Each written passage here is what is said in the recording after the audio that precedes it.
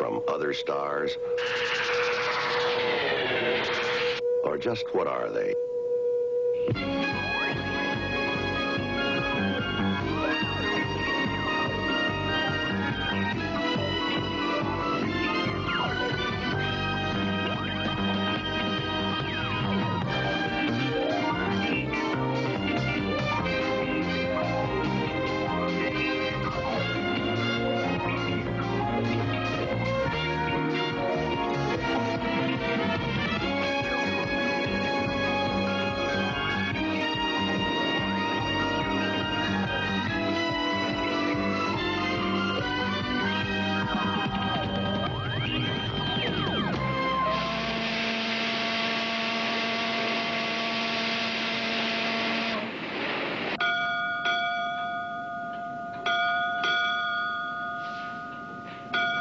Coffee, sir. Can I get you some? Oh, no, thanks. Might keep me awake. Okay, I'll be back in a few minutes. Bye.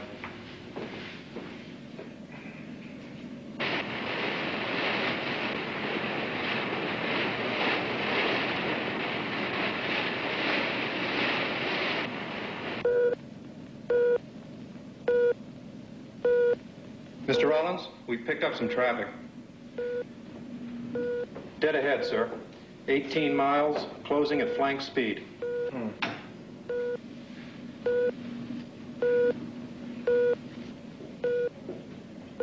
Never seen that happen before. Malfunction, do you think? Don't know. It's possible. Check it out. I'll brief the captain.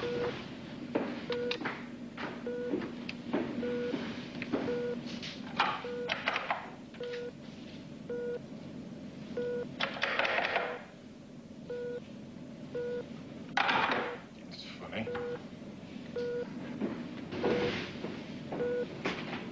Phone's not working. Go to the captain's cabin and brief him. Yes, sir.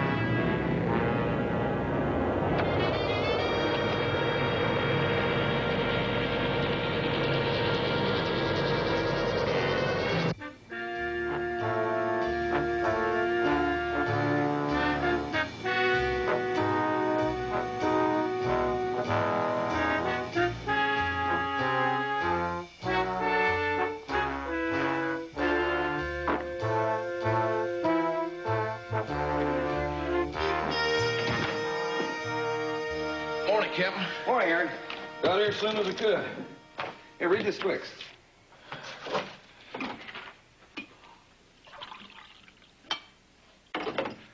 Here you go. It's not steak and eggs. Thank you.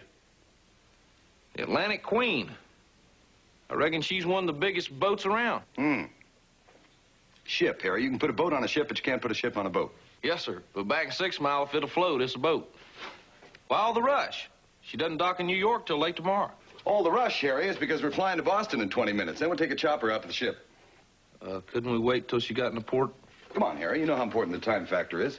Yes, sir, I know. I just don't like making the Air Force fly all the way out to sea. Well, that's very considerate of you, Harry, but the Coast Guard's going to provide the chopper. Northern Steamship Lines requested the investigations. They don't want a lot of rumors flying around, people upset. Captain, maybe it'd be a good idea if I waited in New York for you. And you went on the ship by yourself. You know how crowded ships can get. Those small little staterooms and all. Harry, Yes, sir? what's with you? What's the matter? Well, sir, to tell you the truth, I get seasick. No problem. There are seasick pills. Yeah, if those don't work, you could have a problem.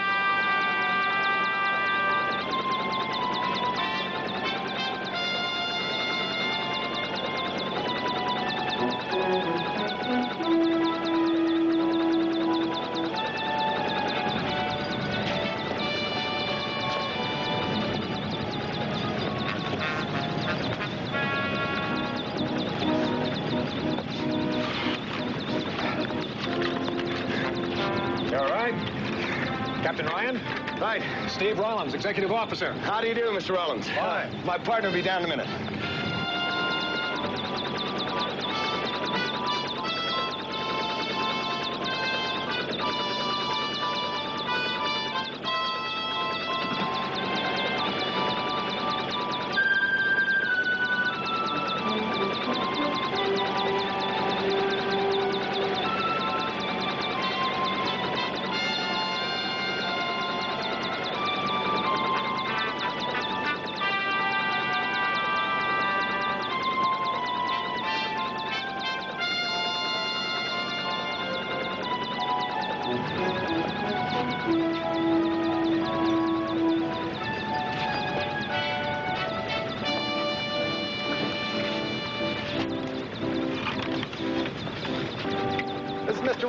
Executive officer. How are you? Sergeant Fitz. Sergeant, you gentlemen will follow me. I'll show you to the bridge. Captain Bergstad's waiting for us. Fine, our gear will be down in a second. Can you handle it for us?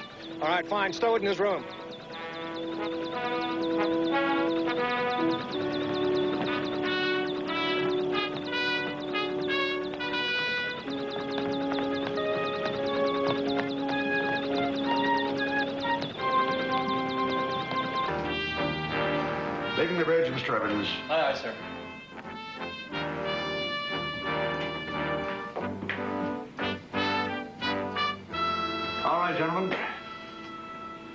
Touch with the Home Office since early this morning. I feel they overreacted. There's no reason for investigation until we docked. Well, it is a help to us to begin at once, sir. Ryan, the only reason I allowed you aboard is because I was ordered to. I've heard Mr. Rollins' incredible account of flying objects. And I'm sure you realize that a story of this kind could cause panic on this ship. Well, I understand that, sir, but we have an investigation to conduct, and the sooner we get underway, the better. Very well. If nothing else, maybe you can debunk this whole foolish situation. Captain Bergstad, I know it may seem a little difficult to believe the things that we describe, but there was something out there. Now, I don't know what it was. But whatever it was, was real. Now, I'm sure of that much. I'll see you gentlemen in my cabin when you're finished here. Mr. Rollins, take the con. Aye, aye, sir. Sir. It's, uh, it's pretty tough for most people to keep an open mind when it comes to UFOs. Until you've seen one. Why don't you tell us what you saw? Yes, of course. Mind if we record this, sir? Not at all. Uh, what about the helmsman that was with you? Oh, that would be Anderson. He's due back on the bridge in a few minutes if you'd like to wait. No, that's all right. Why don't you go ahead, sir? All right. Well, it was about eight bells. That's 0400 in your language. We had a blip on our radar screen. Now, it was coming directly at us at flank speed. Then all of a sudden, just disappeared like that. Now, I went over to the phone to inform the captain. Phone was dead. That's when I sent the radar operator down to the captain's cabin to tell him what was going on. And right after he left, I looked out over the bow.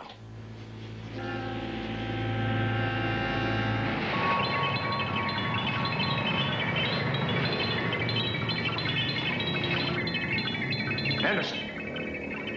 Yes, sir. I see it.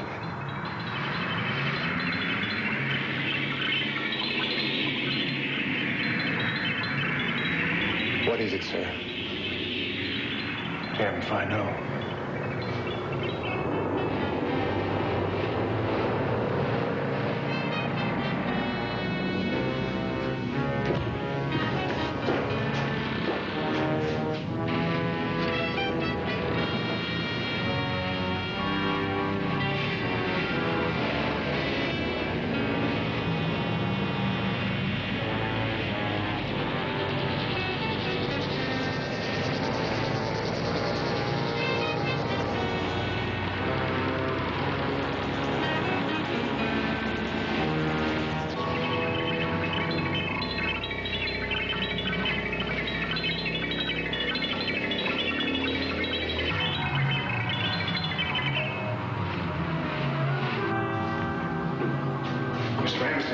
Second one? It was right up above us. No, sir. Another one? Yes, it was incredible. That's still dead. I'm going to see if it's still out there. But it wasn't there. I never saw it again. Now, gentlemen, I have been at sea most of my adult life, and I have seen a lot of strange things. But never, never anything like that. Did either of the objects ever touch down on the ship? Not that I saw, but it's possible that the second one could have. All right. Thank you, Mr. Rollins. Well, what are you going to do now? Check things out. See if we can come up with any kind of physical evidence. Well, there's a slim chance of that, isn't there? We have to try, sir. Well, if there's anything you need from me or my staff, you just ask. Thank you. We'll be in touch.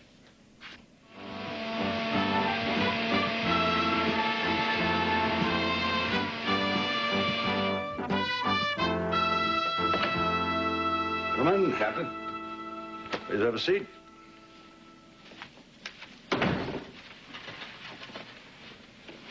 Well, what's your opinion? About what, sir? Why, Mr. Rollins' preposterous story, of course. Would you say he hallucinated, or was he simply lying? There is a third possibility, sir. And that is that he was telling the truth. We're being invaded by flying saucers, beings from outer space. We're supposed to be responsible men, Mr. Ryan. Are you saying that you can honestly accept such an outlandish premise? We haven't accepted anything yet, sir. Or rejected anything. If Mr. Rollins saw something, it doesn't necessarily mean it was extraterrestrial. Sit down. I think it's only fair to give you a little Mr. Rollins' background. It's probably the dream of every seafaring man to uh, command a deep keel vessel someday. Mr. Rollins, is no exception. Now, don't get me wrong, he's a, he's a fine officer. But I'm afraid he's a little bit too ambitious for his own good. What do you mean, sir? Well, I'm getting close to retirement age. Uh, another year I'll be on the beach. Mr. Rollins can have this command if he's patient, but uh, I don't think he wants to wait. I think he uh, would like to expedite matters. Even to the point of fabricating a story about UFOs? Anything to cast a little doubt on my command. What about the helmsman? He confirmed one of the sightings. Well, he could be saying what Mr. Rollins told him to say. Do you feel all the men are against you, sir? No, Ryan. I'm not paranoid. I understand the feelings of the men under me. I came up through the ranks myself. Man at the top is always fair game. Occupational hazard.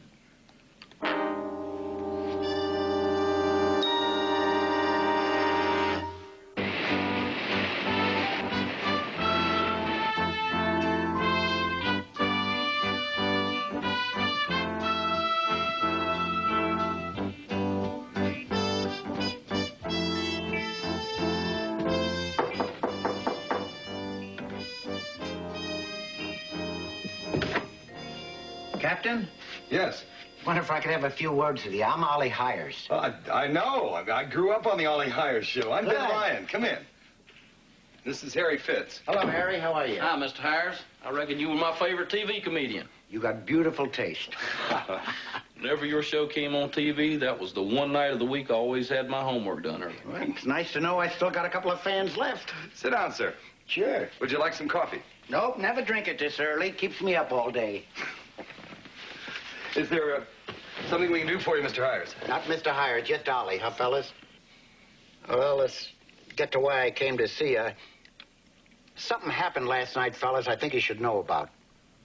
Well, why don't you go ahead and tell us, Ollie? Is it okay with you if we record this? Oh, yeah, I'm, I'm always much better if you, if you got a microphone.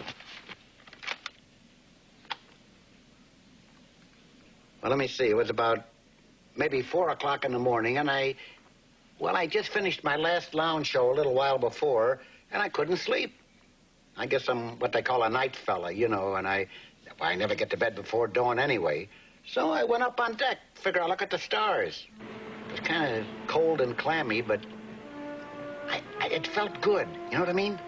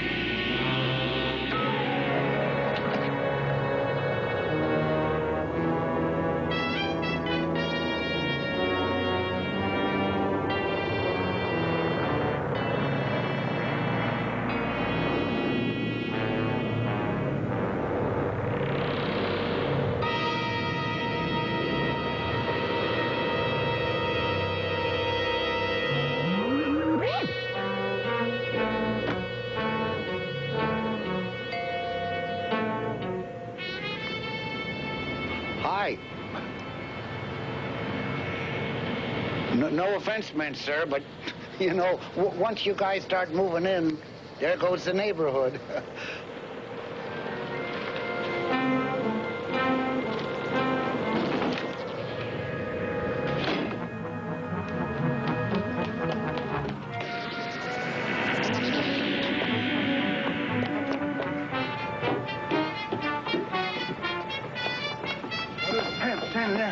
and this light, and then this guy comes out, and... Oh, oh where? What are you talking Oh, about? listen to me. Rollins organized a searching party, but I guess they didn't find anything. Well, Rollins must have believed your story then. Well, I guess so, but he didn't even question me. He just got together with a bunch of guys and took off. Hey, he- he didn't say anything to you fellas about it, did he? No. No, he didn't. Mr. Hires, did the humanoid try to communicate with you in any way? No, just gave me a glassy stare, you know, like this. I had an audience like that once in Boise, Idaho.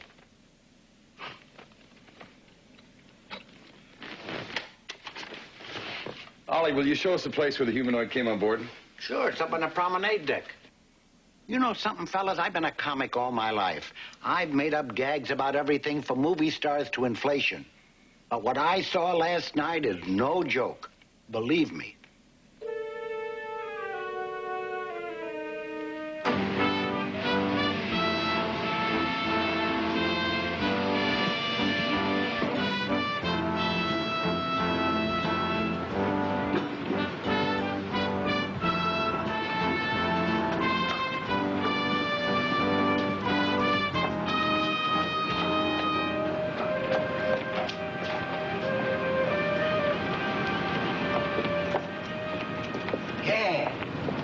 Yeah, this is it, right here. I'm standing about here, and this character comes down the beam of light. Wow, what an entrance. And he winds up about, uh, well, right where we are.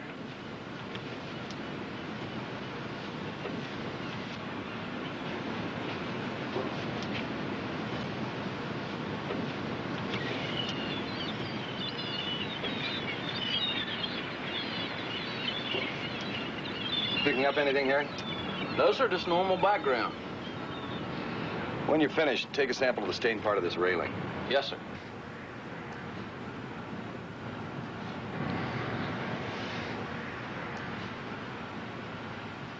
Ollie, can you describe the odor?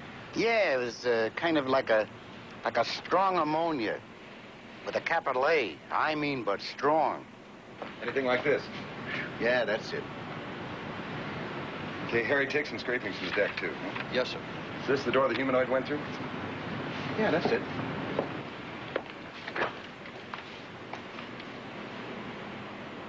you know where this leads? No, I didn't follow Rollins. I went back to my cabin, had a couple of drinks, and went to sleep. Ollie, you never said what happened to the UFO. Well, after I talked to Rollins, I walked back to the rail, and by that time was gone. Harry, finished? Yes, sir. Hey, uh, what do you fellas do with all those bits and pieces you scrape together? We'll take them back to Wright Patterson for analysis. What'll that show? Ollie, we don't play any guessing games. We have to wait till they're analyzed, and when we get the results, we'll get in touch with you. Oh, and then you give me the Emmis. The Emmis, the whole truth. You don't hold anything back. The MS, Ollie. Hey, can I ask you something, Ben? Have you fellas ever proved there is such a thing as a flying saucer? Not yet, but we haven't given up. Oh, but then, if if you prove that my story is right, it'll be kind of like a first. I guess you could say that. Hey, that'd be terrific. What a routine. Good evening, ladies and gentlemen. A funny thing happened to me on the way to Venus.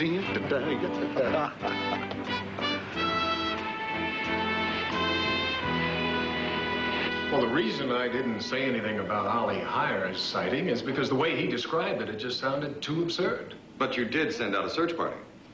Yes, I did. I guess I let the events of the evening cloud my judgment. Does that go for your sighting, too, sir? No, no, no. I will stand behind my previous statements. When you saw Mr. Hires on deck, how did he seem to you? You asking me if he was drunk? That and his general behavior. Well, with Ollie, it's always a little difficult to tell. He's always on stage. As far as being drunk is concerned, um, I guess I've never really seen him 100% sober. I'm sure that's why he's had so many problems with his career. His reputation precedes it. How did he get this job? His agents sold the company a story about how he had reformed, how good he was. Uh, all he needed was another chance. Do you feel he hasn't reformed? Being a comic in a ship's salon is not going to do a great deal for a man's career. But having an encounter with an alien being, uh, that, uh, that'll put your name on the front page of every newspaper in the world.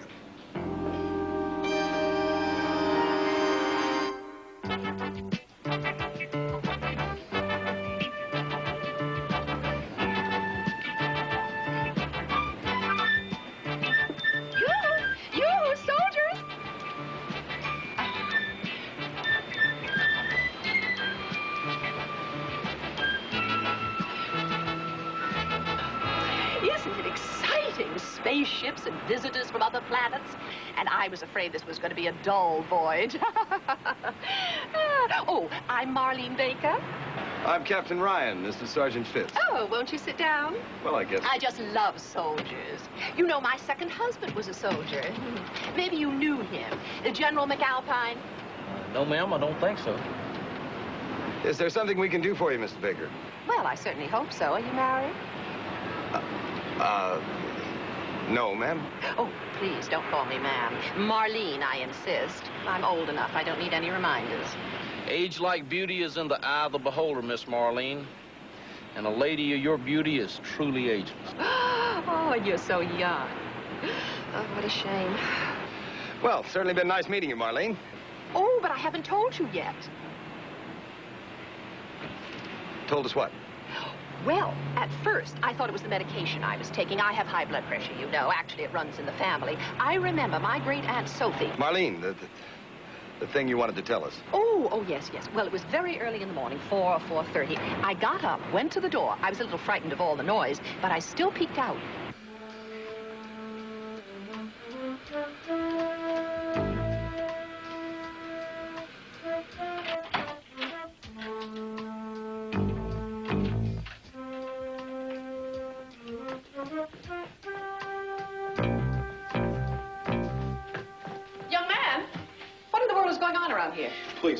Back in your cabin and lock your door. Why? Look, I demand to know what's happening. I wish I could tell you, but I got no idea. All I know is you better stay inside.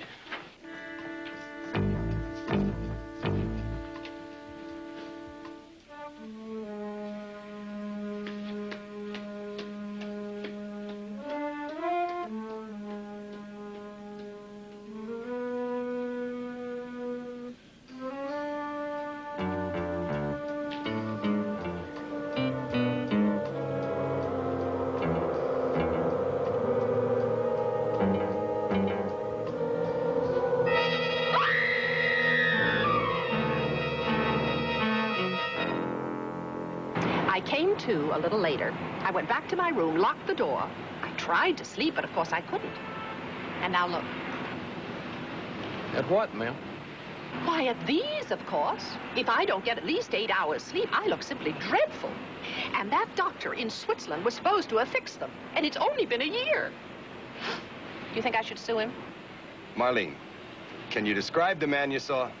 Man, why, my dear, this was not a man. It was a creature with a huge head, no hair, no ears, and the most dreadful little mouth, and beady eyes. Beady eyes? Yes, kind of shifty-like. And his skin, ugh, it's all pasty looking. Marlene, have you told anyone else about this?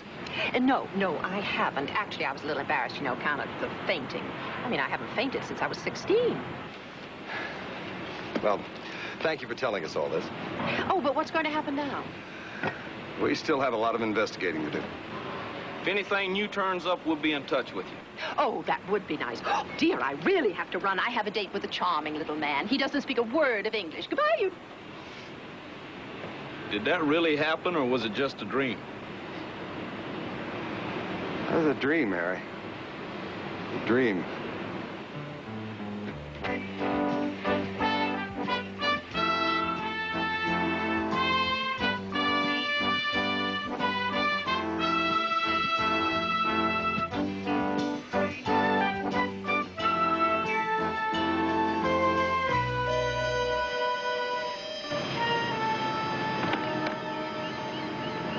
Look at this, Harry.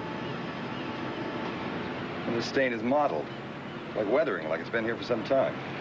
Then that beam of light couldn't have caused it. No way. Wonder how many other people are gonna start telling these stories. It can get contagious. Hope it doesn't become an epidemic.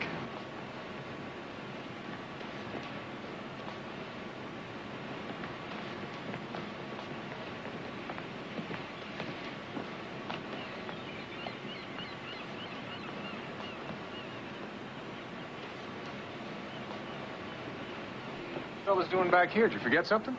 No, we were trying to trace the route of our alleged alien, see if we could establish where he was going. Can you do that? Well, we know he went through that door and he passed by Marlene Baker's cabin. And we know what direction he headed from there. Well, what difference does it make where he was headed? I'm not sure. I'd like to find out. Could you go with us? It'd save time. Yeah, sure.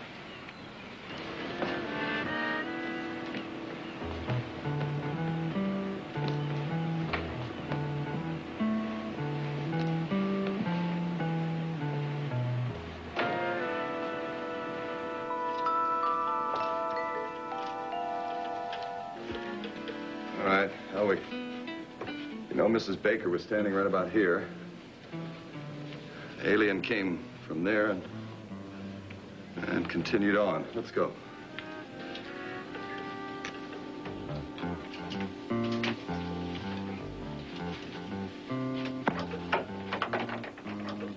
Where does this door lead to? That's a back way up to the bridge. Is it always locked? Always. Who has a key? Just the captain, myself, and the first mate. Where does this go? Eventually down to the cargo hold. Did you fire up the scintillator, Harry? What's that for? Check for radiation. Captain?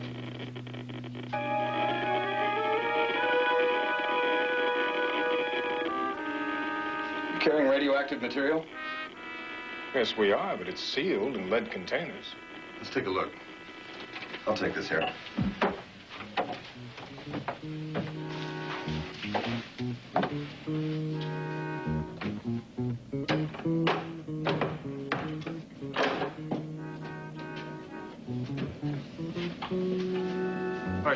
Just follow me.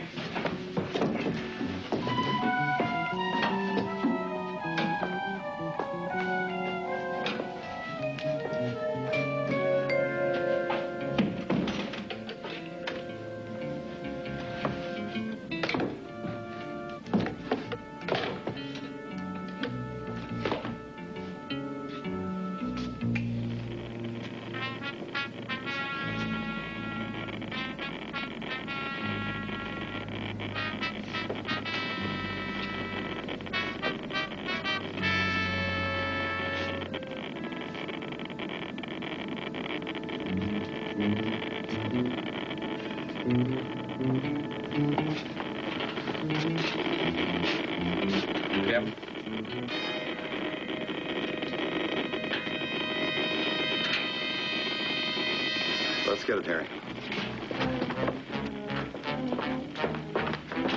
Give me a hand here. At least it's not open all the way.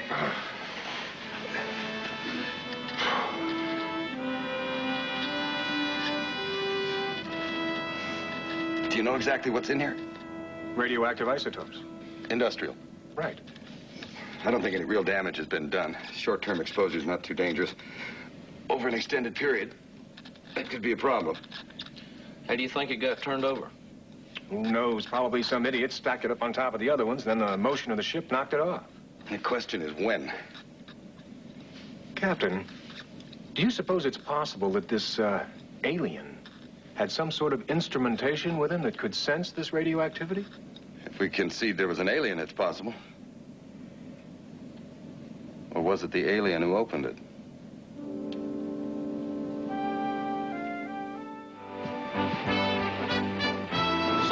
Were two separate sightings of the UFO.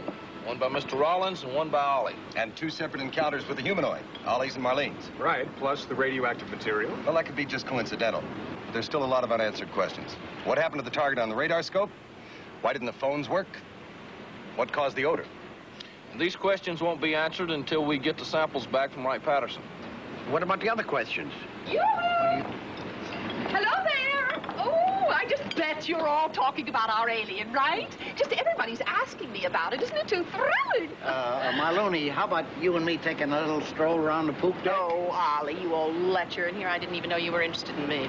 Well, remember the old saying. What is the old saying? Why, it's uh, so old I forgot it. okay, uh, something tells me I'm going to need this. Get them Oh, we will. Mr. Rollins, Yes, sir. when we talked to Captain Bergstad, he had some things to say about you. We'd like to hear your side. Well, thank you for that much anyway. At least that gives me a sporting chance. You see, I know what the captain thinks about me. Correct me if I'm wrong. Good officer, but too ambitious and trying to force him into an early retirement. Oh, I can see I'm right on the button. Well, I plead guilty to the ambitious part. I am. And I am qualified to take over my own command, which I will do one day. But I will do that on my own merit, not due to someone else's misfortune. And gentlemen, I would never, ever allow my ambition to get in the way of my loyalty. Loyalty to whom, sir? To the captain, to this ship, and my company in that order. Now, gentlemen, if you'll excuse me, I have duties to perform elsewhere. I believe him. Yeah, I think I do too. Still, there's something that's bothering me, and I can't put my finger on it. Any way I can help? No. Listen, let's go back to where Ollie had his encounter one more time.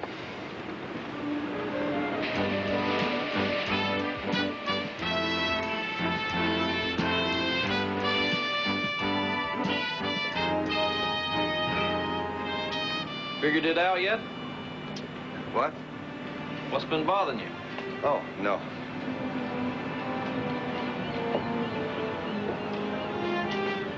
Oh, there you are. oh, I've been looking all over for you. Well, I guess you found us. Yes, of course I did. You're right here. Is there something you wanted, Miss Marlene? yes, tonight's the last night at sea party, and I want both of you to join me at my table. Well, that's very kind of you, Mrs. Baker, but... You know I was supposed to sit at the captain's table tonight, but he had to invite some stuffy old ambassador. I'm really very annoyed with him. I was supposed to sit at his table last night for the masquerade party, but he made up some silly excuse about some prince or other having to sit there. Now, don't you think that was dreadfully rude of him? Well, yes, ma'am, I suppose. Anyway, you will sit with me, won't you? Well, I don't see how we can turn down an invitation like that. Oh, good. I just love men in uniform. Reckon we've been had, Captain. By an expert. Come on, Harry. I think I know the man we have to talk to. Harry, we're starting to get a handle on this thing. Next thing we have to do is call the Commander-in-Chief Atlantic Fleet. Yes, sir. Captain, you know, I've been thinking. It's too bad we didn't get here one day sooner. Why's that? Well, that way we could have gone to the masquerade. You know, I hadn't been to one of those since I was a junior in high school. I remember I went as the count of... Harry, you're beautiful. Oh, no, sir. Of course, some of the girls back in Six Mile did think I was right cute.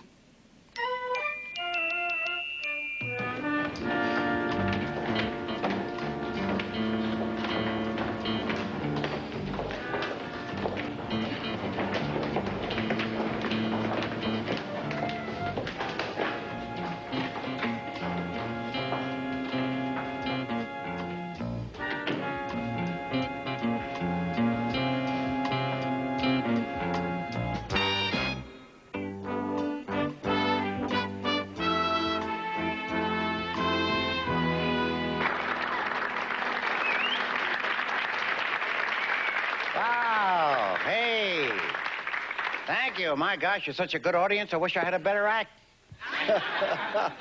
well, you know, this is kind of a return engagement for me here on this ship. Really? Yes, I just did a show here in 1941. Must have been a big hit. They couldn't wait to get me back. Listen, I don't know whether the whole world's on a diet or people just can't afford to eat anymore. Everything is so expensive. Wow. Cheaper to eat the money. I'm not kidding. We went to a restaurant in Paris the other night. Uh, place called La Petite something. I don't know. It must mean, boy, this is expensive. Because we sold a car. We went in, picked up the menu. You wouldn't believe it. T-bone steak, $17.50. With meat on it, 35 I'm a nut. I ordered a steak. Darn thing was so small I had to call a waiter over. I said, hey, close the window. Blew off the plate nine times. Then after dinner, this guy had the nerve to walk over and say, How did you find your steak? I just moved the onions, and there it was.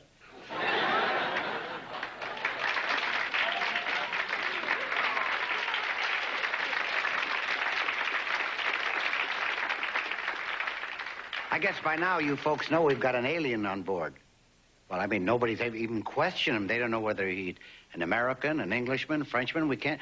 You know, it must be very difficult for those immigration guys. Do you ever stand and watch them where the where the immigrants come into a new country?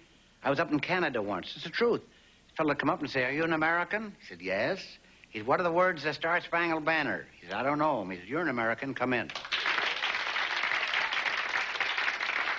I was talking to a couple of our Air Force guys, and they told me they have definitely found there is no human life on the planet Mars. Really? No, they've never asked the United States for a loan. hey, you've been dolls, thank you, and remember the old saying, a friend in need is a pest.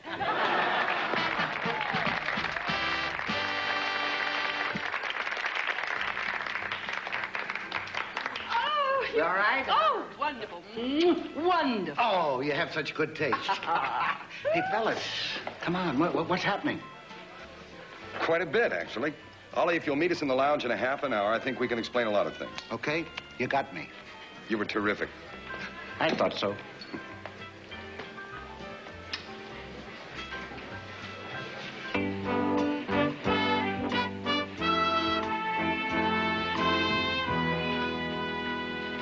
Well, what we're going to tell you is not meant to be an absolute solution to all the questions that have been raised. What we'll try to do is present reasonable, logical alternatives to what you believe you experienced. Kind of a mental hocus pocus, huh? Now you see it, now you don't. Not exactly. We do have some hard facts to go along with our suppositions. Now, first of all, we contacted the Commander in Chief Atlantic Fleet, and they confirmed a nuclear sub was in your vicinity last night. That could have been the traffic that you picked up on your radar.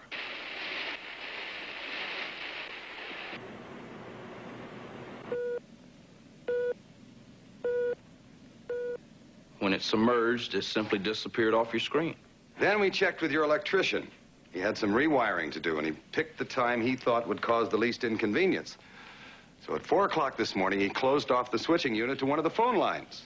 Unfortunately, he forgot to notify you ahead of time.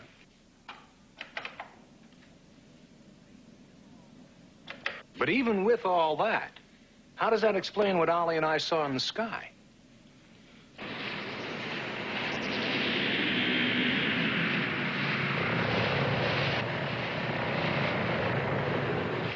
These are the meteorological reports. Here. Thank you. Now, in essence, what they say is that early this morning there was fog. Visibility less than 1 16th of a mile. Also, there was a full moon hanging low on the horizon. Okay. A strange reading on the radar scope, and then the unexplained failure of the phone set up a psychological framework that could have easily affected your judgment. You anticipated something ominous. It is possible, sir, that the fog dissipated just enough to allow the moon to show through. What we're saying is that it's possible you and the helmsman merely misread a very natural phenomenon.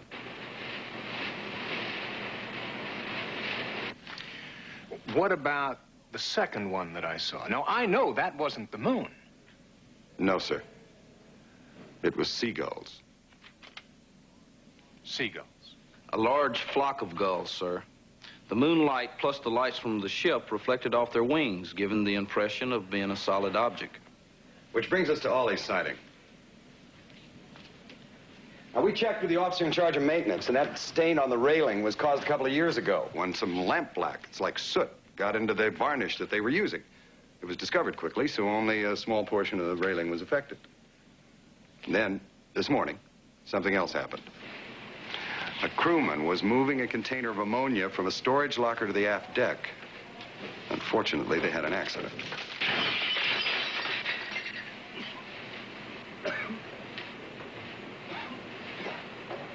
Now, the crewman succeeded in washing away the mess, but the odor remained. Strong odor of ammonia. I don't know. You guys are weaving a beautiful story, but you're forgetting one little thing. There were no seagulls, and I certainly know the moon when I see it. Now, that human creature was standing right in front of me. He was as close to me as, as you are.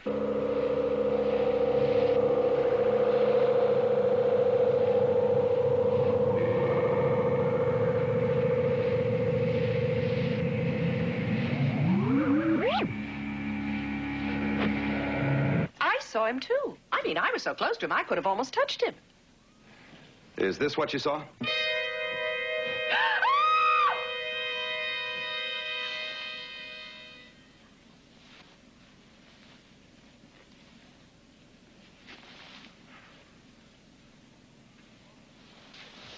We borrowed this mask and the outfit from the ship's boutique. One of the passengers had planned to wear it to a masquerade last night. However, he had a few too many and he missed the masquerade. But he did wander around the deck later, which is when you saw him.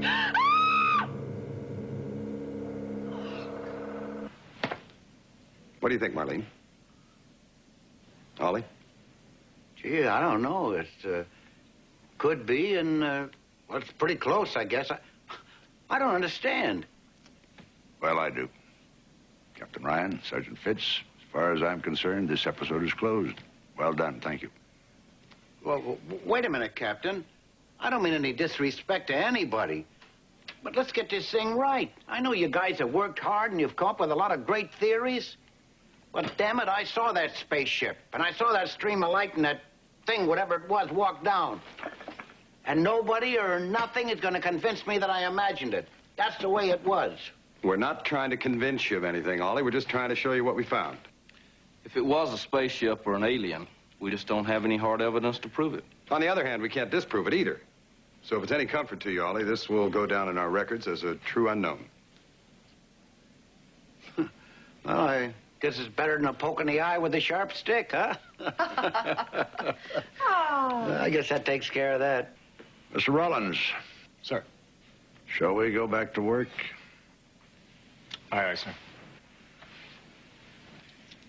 Now, I don't know about, uh, about Ollie, but I'll buy your story. We really weren't trying to sell it. I know that, but I, uh, I'm a sucker for happy endings, you know?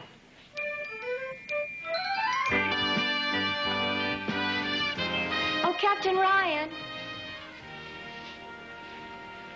I'm sorry to bother you, Captain. I'm Ellen Farrell. This is my daughter, Becky. Hi, Becky. Pleased to meet you, Mrs. Farrell. This is Sergeant Fitz. Ma'am? May I speak to you a moment, please? Sure, let's step over here. Is there something we can do for you? Well, I'm not sure. I've hesitated talking to you, but after all the stories I've heard, I thought maybe I should. You have some information about the reported sightings? I think so. Some information. Something you saw? No, something my little girl saw. Would you care to tell us about it? Yes, I guess I'd better. I didn't find out about this until I woke up, of course, and Becky told me. But as I understand it, this is what happened. Becky woke up and went over to get her doll.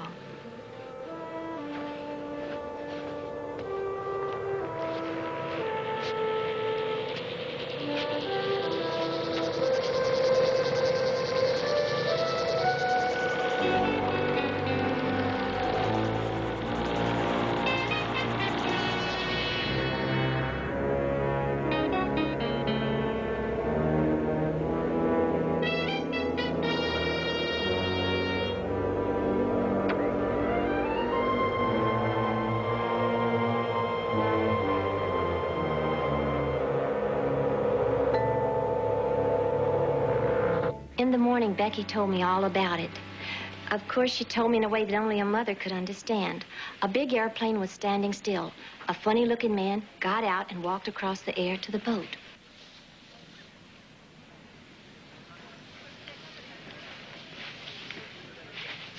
That must have been exciting, Becky. Were you scared? Why didn't you tell us all this sooner, Mrs. Farrell? Well, naturally, I didn't take Becky seriously. I thought it was just a little girl's imagination. You know, like seeing lions and tigers in her room. I just didn't believe her. That is until I heard the other stories.